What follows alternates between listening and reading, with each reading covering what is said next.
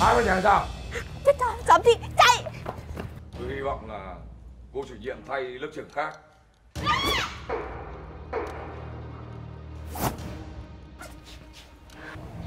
Này, cậu bạn mới vào trông cũng thú vị đấy nhở? Nãy nó nói cái gì tao mà hiểu tao chết liền đấy Này, bạn không thấy khổ khi nó phải sửa váy cho bạn à? À Trang này. Sao thế ạ? Cô có chuyện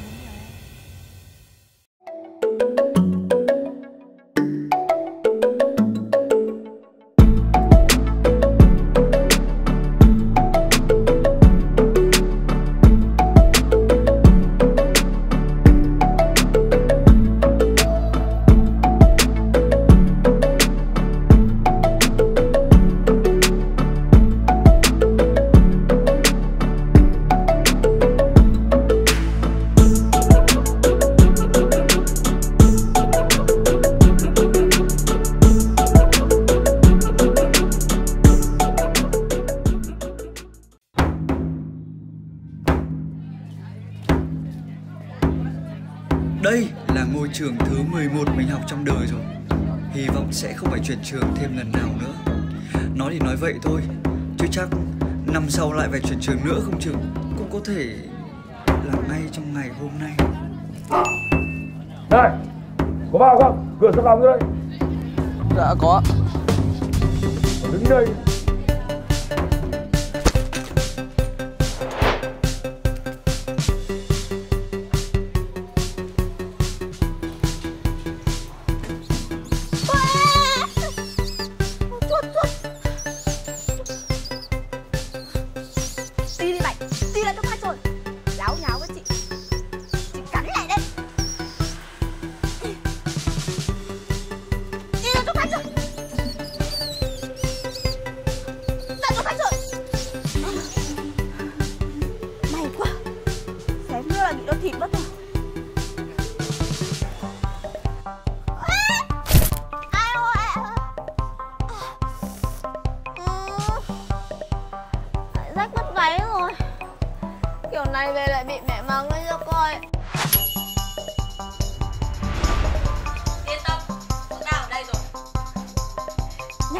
giúp tao vào lớp mua thong rồi hai bên nhà sao? Chết rồi giám thị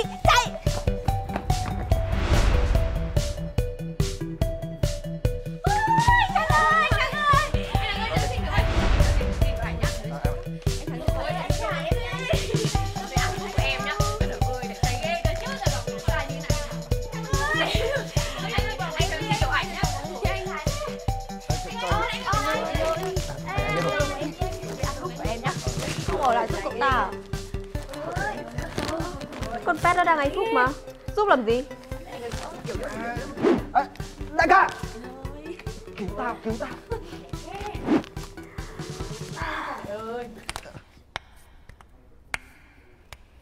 Đại ca tới đây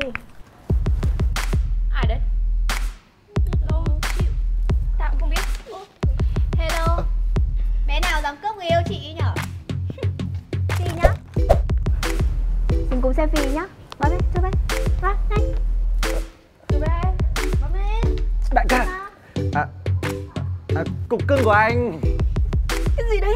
Một chết à? Lỡ giúp rồi thì giúp cho chót đi Đây ờ, là bạn gái của tôi Cái gì? Sao anh tặng con như đàn ông như thế này được? Sao? Các cưng có ý kiến gì à? chị tuyên bố đây là bồ của chị Đứa nào léo véo với bồ chị Chị thịt hết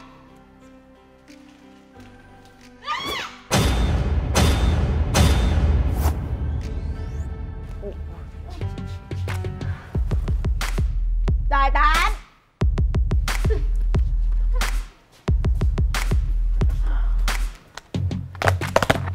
May mà có mày Chứ không tao chết chắc. Chuyện nhỏ đấy có là gì đâu ở Pet Mày anh nhớ Cái bản mặt của mày nhiều đứa mê lắm. Thế nên ra đường ấy Bịt cái khẩu trang vào. Thôi đi lên lớp đi. Không mắc câu ông giám thị ông bắt bây giờ ấy. Anh nhớ ở đâu thế à, à, Em chào thầy ạ Các cô các cậu đi đâu mà giờ này mới vào lớp? Vào lớp muộn. Cuối giờ lên phòng giám thị gặp tôi. Ơ, thầy, bọn em có vi phạm gì đâu ạ? Vi phạm rõ ràng. Giờ truy bài lang thang trên hành lang. Lại còn cãi à? Không phải bọn em lang thang mà bọn em đi vệ sinh ạ. Ai không? có đi vệ sinh giờ truy bài? Thầy buồn cười thì em hỏi thầy nhá, giờ kiểm tra giờ thi người ta còn cho đi vệ sinh. Thì bây giờ nhớ bọn em nhịn ra đấy bọn em có vấn đề gì về sức khỏe bọn em nhập viện đến lúc đấy thầy có chịu trách nhiệm được không ạ? Mà em nói thật là cái gì chứ đi đi vệ sinh là phải đi ngay đi liền đi khẩn trương thầy ạ. Nhịn là nguy hiểm lắm, liên quan cả tính mạng đấy thầy. Chỉ giỏi cãi thôi. Em đúng là hết thuốc chữa rồi. Hôm nay lớp đấy có học sinh mới đấy nhá. Vâng. Tôi hy vọng là cô chủ nhiệm thay lớp trưởng khác. Chứ cứ như em, quậy phá cứng đầu cứng cổ. Rồi làm cả lút. Em cũng mong có người thay thế em lắm thầy ạ. Em chào thầy. Goodbye teacher. Đi vào lớp, nhanh lên.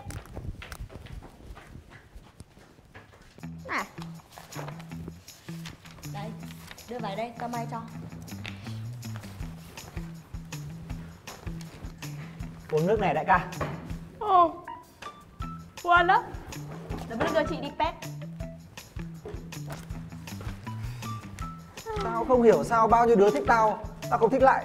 Mà tao phải đi chơi với bọn mày để bây giờ hóa thân thành con pet ấy. bởi vì mày hiểu tại sao không?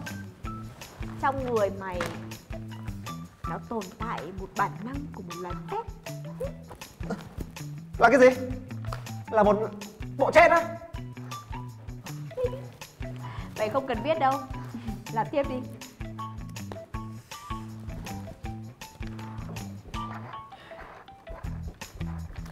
Đây này. Nè Bà sửa giúp tôi cái váy nha. Mà lấy giá rẻ rẻ thôi nhá. Ừ, tôi cứ để đây Để tôi sửa cho. Nó không cũng được Đi Ờ. cho không là cho không thế nào hả bạn ơi? Này Bạn không thấy khổ khi nó phải sửa váy với bạn à? Nếu cô giỏi ấy Thì mời bạn cầm về nhà. Mang cho bố mẹ bạn sửa Sau đó bạn ngồi bạn nghe chửi nhá. Ở đây làm gì có chuyện free Nè Vậy à, bà sửa giúp tôi. Rồi à, tôi trả tiền đầy đủ cho. Thiếu một xu thì chết với tao. Hôm nay mà không có tao Thì mày lại làm không công rồi đấy. Bạn bè trong lớp với nhau cả mà Có làm sao đâu. Nhưng mà thôi Dù gì cũng cảm ơn đại ca nhá Nếu như cảm ơn ấy Thì nhanh nhanh cái váy lên Tao mà mặc quần thế này, cô lên lớp cô nói cho chết. Đấy, sắp xong rồi đây Mà mày thích tao theo con bướm Hay là bông hoa không? Hả? Ý, Con bướm hay bông hoa? Mày nghĩ tao hợp với mấy cái đấy à? à tốt nhất là mày nên theo cho tao Pikachu, Doraemon hoặc là siêu nhân gao vào đấy cũng được Tưởng hầm hố lắm cơ mà À, các bạn ơi Hôm nay à, lớp mình có học sinh mới Chuẩn bị tinh thần nghênh đón nhá Ok đại ca.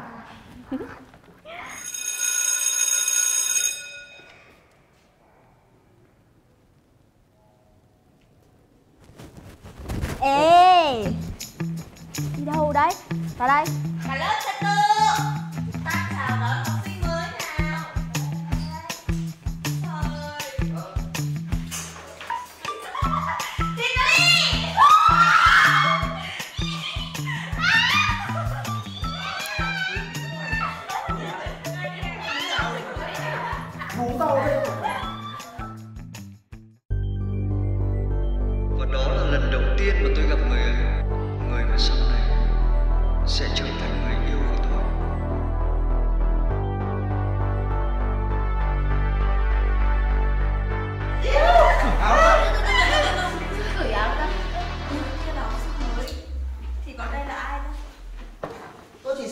thôi mà Ờ, Thôi khỏi cái đi. Ờ. Đây chào cô ạ. Ờ, Phương đây à? Dạ. Vào lớp đi em. À, Cả lớp đứng im đọc cô. Em ngồi xuống đi. Giới thiệu với cả lớp. Đây là Phương Học sinh mới tới lớp mình. Các em giúp đỡ bạn nhé. À, hình như lúc nãy các bạn định À, đ, đ, đ, tụi em chỉ định chào mừng bạn thôi. Ờ, thôi bạn xuống cuối lớp ngồi vào chỗ trống nhá. Em xuống đi. Dạ. Rồi, lớp chúng ta mở sách ra học bài mới nào. Hôm nay chúng ta sẽ học một tác phẩm mới vô cùng nổi tiếng của văn học Việt Nam Đó chính là tác phẩm Chị Dậu Và để cho buổi học của chúng ta thú vị hơn Thì chúng ta hãy xem bản điện ảnh của nó nhé Nhưng mà các em bây giờ hãy chớp mắt đi Bởi vì 80 phút nữa thôi Thì các em sẽ không thể nào chớp mắt được đâu dạ thưa cô Ờ, có chuyện gì thế em? điều mà cô nói ra sẽ không thể diễn ra đâu ạ Ờ, tại sao? Kỷ lục không chớp mắt liên tục trên thế giới hiện nay đang là 44 phút 30 giây. Các bạn trong lớp chỉ là người bình thường thôi nên sẽ chớp mắt khoảng 2 đến 3 giây một lần. Chưa kể đến việc không chớp mắt sẽ rất có hại cho sức khỏe. Mắt của chúng ta sẽ không được cung cấp bởi ba lớp dung dịch như protein, nuôi dưỡng mắt, các khoáng chất quan trọng và dầu bảo vệ mắt chống khô và bụi bẩn. Nếu như cô bắt các bạn không chớp mắt trong vòng 80 phút như vậy thì em e là bụi bẩn sẽ bám vào mắt của các bạn và tạo ra những vết xước. Như vậy sẽ dẫn đến tình trạng giảm thị lực hoặc thậm chí có thể bị mù. Ờ, thì cô cứ nghĩ là cô nói đùa cho vui Dạ. Vậy à? à? Tại vì em nghĩ là khi cô nói mà các bạn không cười, em không nghĩ đó là câu nói đùa. À, nói đúng ra phải là câu nói phóng đại ạ. Đúng rồi, à, là câu nói phóng đại chứ không phải là câu nói đùa.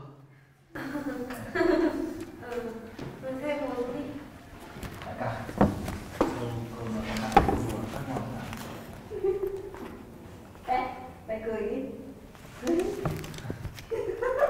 Được rồi Mày chỉ cần biết lại là được rồi Nhưng mà cười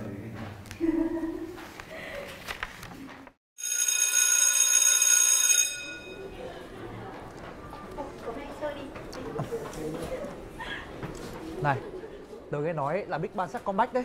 Dễ gì, sau vụ dù rồi khó quay lại lắm Chỉ đang chờ các trường BS comeback thôi Còn Big Bang thì khó khăn lắm Ừ. Ủa? Các cậu cũng quan tâm đến Big Bang nữa hả? Thế cậu cũng là VIP à? Là khái niệm gì vậy? À, còn mình thì đang quan tâm đến năng lượng tối. Đó là thứ mà chiếm tới 63,8% tổng vật chất năng lượng trong vũ trụ. Nó còn có khuynh hướng tăng tốc độ sự giãn nở của vũ trụ nữa. Ý bọn tớ nói là Big Bang Big Bang nhóm nhạc Hàn Quốc, cậu hiểu không? Ủa vậy hả? Nhóm nhạc đó thì có gì thú vị không? Nhưng mà mình thấy khái niệm năng lượng tối trong vụ nổ của Big Bang thì cực kỳ hay ho luôn. Này nhá, vào năm 1998, nhờ quan sát một siêu tân tinh loại La mà con người đã có thể khám phá ra một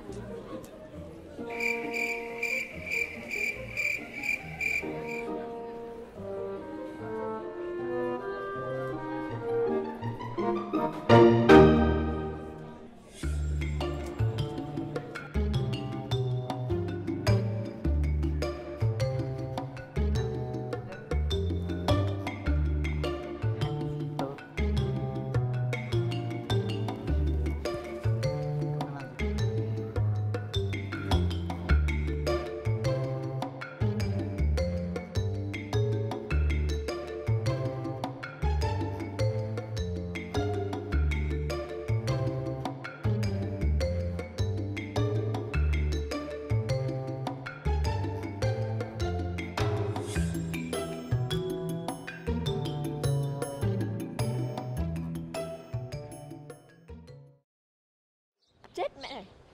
Chết Ui chưa? Láo đánh tao Đánh tao Đánh tao Đánh tao. Ôi chưa Tôi chết rồi. Pet cứu tao. Nhanh lên chúng nó giết tao đến nơi rồi. Chờ chút, Đến đi. Chờ chút, bọn nó cũng đang vây tao này. Đánh đi, đánh đi. Chết, kìa. chết. Ờ, Thôi Thế là chết rồi. Mày làm pet cái kiểu gì đấy? Sao để bót chết như thế à? Chứ không phải là do mày đánh ngu nên mới thua à? Giá mà trong game mày đánh hay như ngoài đời thì đã không thua suốt rồi. Cái thằng này nay mày láo nhở? Mày định lật đổ chế độ có đúng? Hả? Tao cho mày một trận bây giờ. Làm bót thì chỉ việc đánh thôi. Còn cái việc bảo vệ là việc của pet chứ. Vô lý.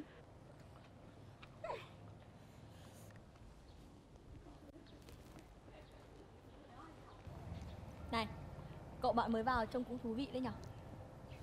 Nãy nó nói cái gì tao mà hiểu tao chết liền ấy. Không biết nó có ở cái hành tinh này không ấy. Tao nghi lắm Mày thì hiểu cái gì? Nhưng mà kể ra nếu như mà nó cứ như vậy Thì ở đây khó có bạn lắm.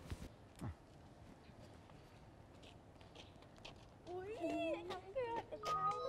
Ui,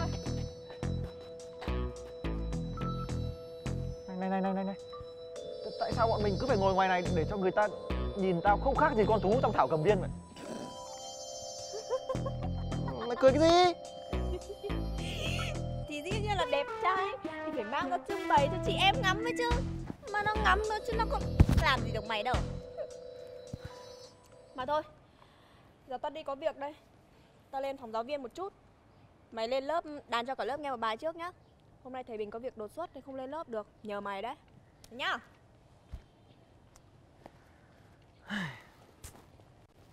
Lại phải làm cho nhiều người thêm mê mệt rồi.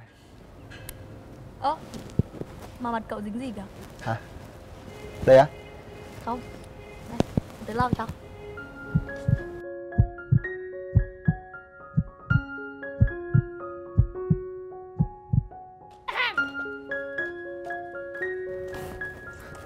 Thôi, đi đi.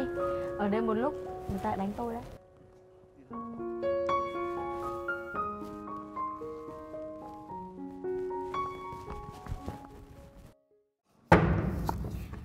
bài làm của các bạn Em trả giúp cô nhé. Cô cứ yên tâm Em sẽ giao đến tận tay từng đứa một. Mà cô có lời nhắc hay là hành động gì mà muốn nhắn đến chúng nó không? Em truyền đạt cho cô. Không có gì đâu Tất cả là cô đã ghi hết ở trong này rồi. Dạ vâng Thế thôi em xin phép cô em về lớp nhé. À Trang này. Sao thế ạ? Cô có chuyện muốn nhờ em.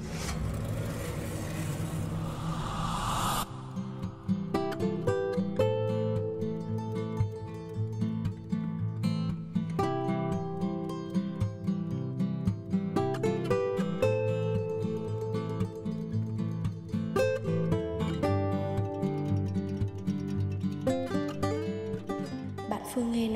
đã chuyển trường 11 lần rồi.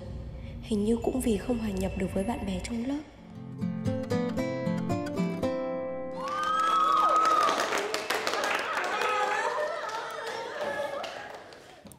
Giờ có ai muốn lên đánh một bài không? Ai ta? Ai nhở? Biết đánh đàn không? Không, chả ai biết đánh đàn Được không vậy? Biết đánh đàn nữa. Nghe thật đấy nó cũng đang rất cố gắng để hòa nhập cùng mọi người. Em thấy đấy, Mấy đứa IQ cao mà EQ thấp như nó, kể ra cũng khó, Mà tình trạng sức khỏe tinh thần của nó cũng đang xấu dần đi.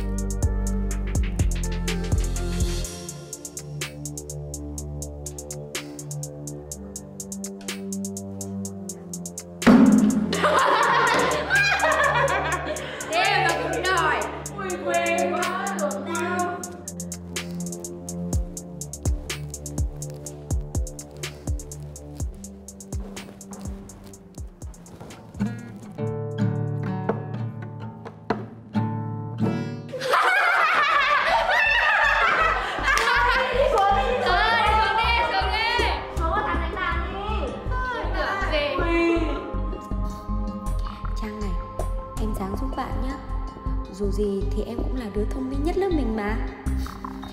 Mà ba mẹ Phương nói, nếu không tìm được môi trường phù hợp, Chắc họ sẽ cho Phương sang Mỹ du học Hoặc là ở nhà tự học luôn đấy. Lúc đó thì tội thằng nhỏ